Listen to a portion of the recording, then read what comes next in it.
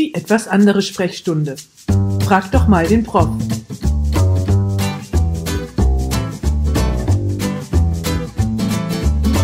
Herzlich willkommen heute zu einer Frag doch mal den Prof Sonderfolge.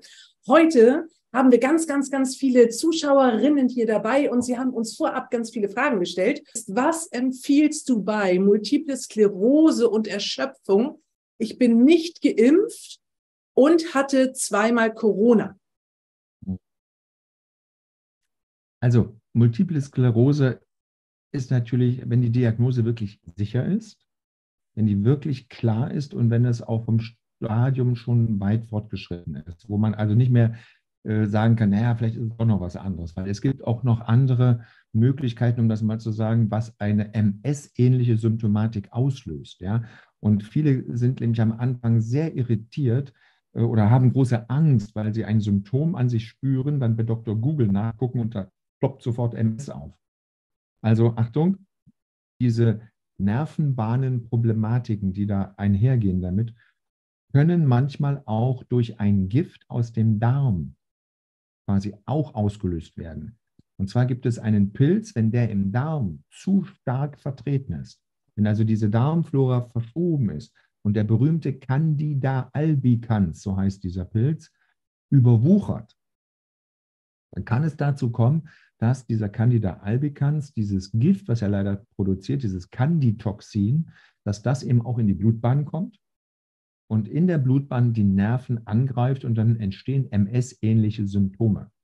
Das heißt, bei jedem, wo das noch nicht so hundertprozentig mit der Diagnose stimmt oder wo es in einem scheinbaren Anfangsstadium ist, würde ich wärmstens ans Herz legen. Man hat nichts zu verlieren.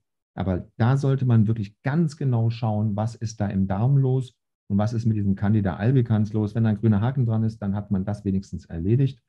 Ansonsten gibt es bei MS aus meiner Sicht natürlich nur parallel etwas. Wir können es kausal, wie wir sagen, also vom Grunde her nicht wirklich zurückdrehen, das Rad der Geschichte, aber man kann den Verlauf günstig beeinflussen. Man kann für allgemein gute Lebenssituationen oder Lebensqualität natürlich noch sorgen.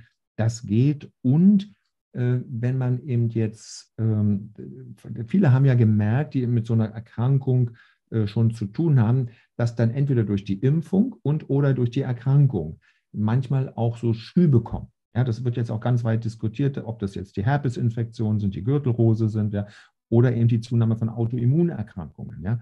Und äh, da muss man sagen, ist etwas als Therapieverfahren zumindest gut jetzt etabliert und wird auch nicht mehr verschwiegen. Das ist die Blutwäsche, diese Apherese. Ja? Und ähm, ich bin da vor Jahren schon, also weit vor Corona, immer schon um diese Technik rumgeschlichen, sage ich mal.